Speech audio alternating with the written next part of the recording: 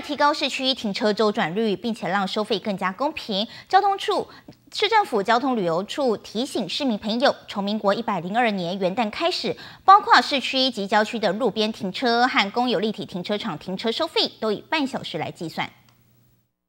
为了提高市区路边停车周转率，让停车格更具弹性，从民国一百零二年一月一号元旦开始，包括安宜路。信义路祥龙桥以西、信二路义七路以西、信三路、信四路、信五路、仁一路祥龙桥以西、仁二路、仁三路、爱二路、义二路、义三路、义四路、义七路、孝三路、中正路、南龙路、安乐路二段等路段，小型车收费每个小时收费调整为三十元，以半个小时来计算收费；大型车辆加倍计收。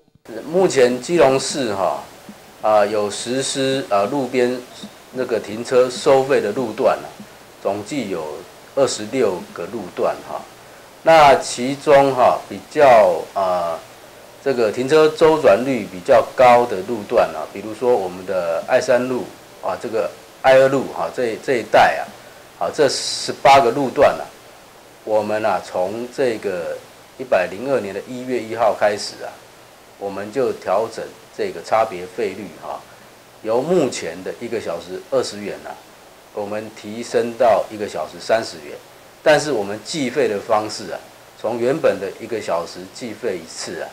更改为啊半个小时计费一次，让这个仁爱市场附近哈啊庙口附近啊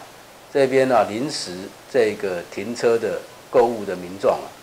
他能够在半个小时之内离开的话，他。的这个缴费的金金额啊，反而是降低哈。另外，在郊区部分的路段，也就是信一路祥龙桥以东、信二路义七路以东、仁一路祥龙桥以东、义九路、中山一路安乐路一段、义二路丁段、中传路等小型车收费每个小时仍然维持二十元，也是以半个小时来计费。那其他像中传路啊，像这个。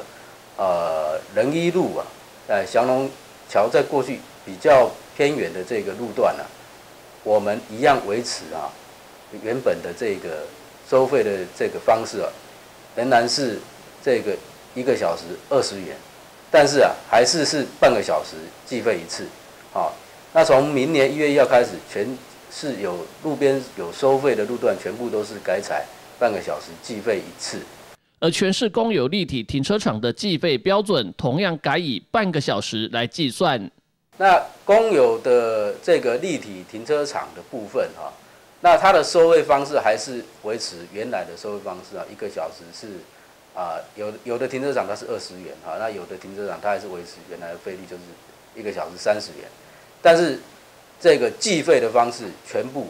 都从一月一号开始，都一律改成这个。半个小时计费一次，半个小时计费一次。那这样的话，统一的一个做法，让临时停车的民众啊，他有比较合理的一个缴费的一个标准。记者吴俊松采访。